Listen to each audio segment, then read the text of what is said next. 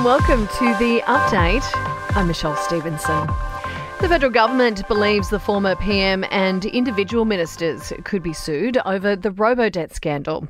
A Royal Commission had made adverse findings against several people over the bungled scheme, which saw around 400 welfare recipients wrongly sent debt notices. Government Services Minister Bill Shorten says Scott Morrison and a number of former coalition ministers could find themselves at the centre of a fresh class action. I suspect that there'll be some individuals who will seek legal advice and they may well seek a remedy of suing the individual former ministers. I don't know why these ministers are running around acting like they're out of the woods yet. This was a shameful scandal in Australian political history. Well, Liberal Senator James Paterson says if they want to continue legal proceedings, they should be able to do so. There has been uh, action, there has been compensation already, but that doesn't close off the legal avenues that Australians have, and it, and it wouldn't be appropriate to um, discourage or dissuade them from doing so. They have every right to take any legal action that they believe is appropriate. Ben Roberts-Smith is appealing against his historic defamation loss in the federal court. It's after a judge dismissed the case against several nine mastheads, finding he murdered or was complicit in the murder of four unarmed Afghans.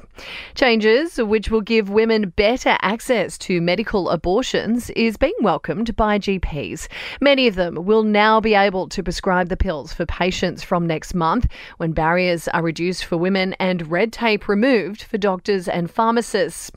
And new data shows discretionary spending is beginning to slow, but we're still paying extra for essentials. According to the Bureau of Statistics, outlay on luxury goods and services dropped 0.6% in the 12 months to May. Now, sport and entertainment are next.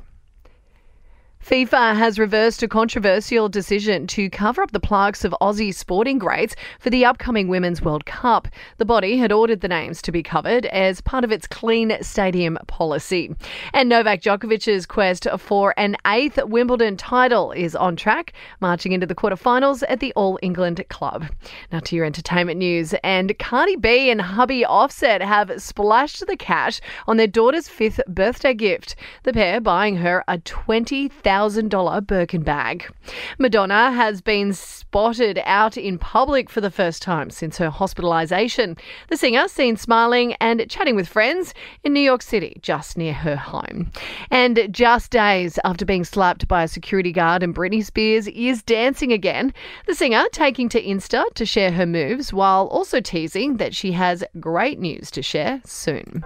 That's the latest from the Nova Podcast News team. We'll have another episode of the update for you tomorrow. I'm Michelle Stevenson.